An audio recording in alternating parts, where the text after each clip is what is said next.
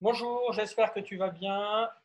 Je refais une vidéo parce qu'en fait, j'avais oublié de mettre en route la vidéo quand je viens de faire la séance avec les élèves en direct.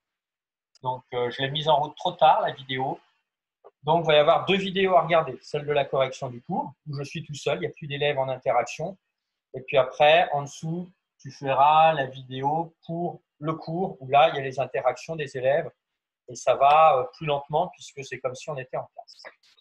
Donc, pour ce numéro 25, page 147, il fallait déjà calculer,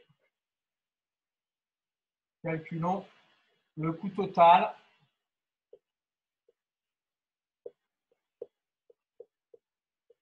que je peux appeler grand C des vacances.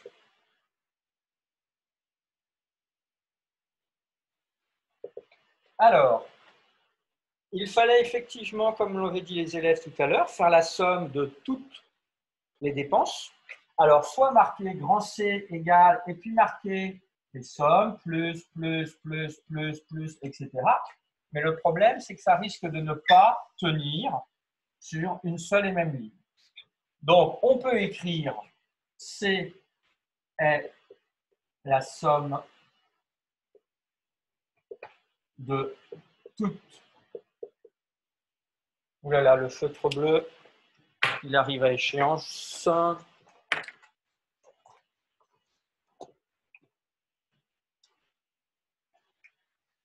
Alors, est-ce que j'en ai un autre ici Ben non, je vais écrire en noir, mais c'est un peu moins bien. De toutes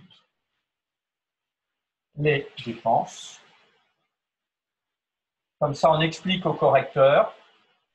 Et on trouvait grand C égale, alors coup de chance, j'avais noté ça dans un coin, 2061,19. Et il fallait surtout pas oublier de mettre l'unité, euro. Ensuite, on demandait de calculer la dépense moyenne. La dépense moyenne.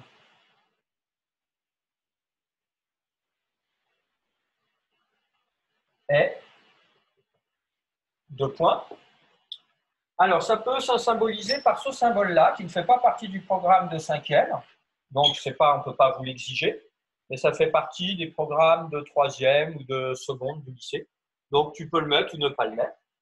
Donc, on sait la moyenne, c'est un quotient. Il faut mettre au numérateur la somme de toutes les données, divisé par 15, puisqu'on avait 15 données, et on trouvait, attention, environ égal, c'était une valeur approchée, 137,41 euros. On n'oublie pas l'unité, on met deux chiffres après la virgule et on met environ égal.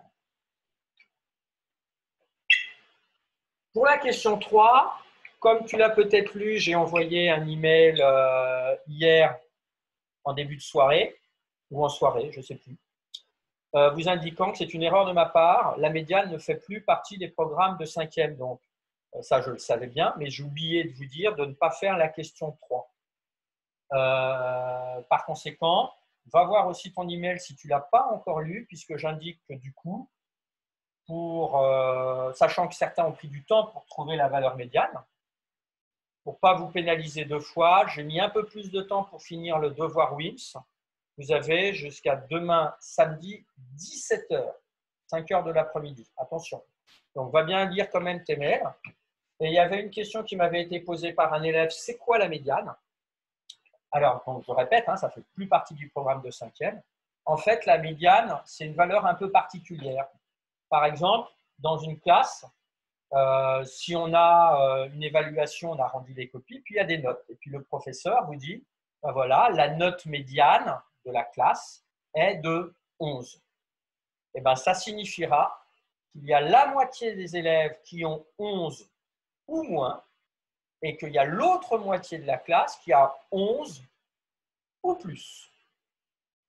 Mais ça ne fait pas partie du programme et ça n'a pas la même signification que la moyenne je trouve ça très bien qu'il l'ait déplacé, que ce soit plus dans le programme de cinquième, parce que c'était une notion qui n'était pas très facile à trouver pour vous par moment.